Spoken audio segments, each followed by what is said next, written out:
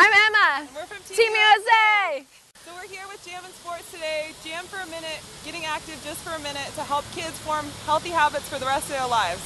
That's right. We want you to be active and stay active. So maybe someday you can be a gold medalist just like Esther. Pretty cool.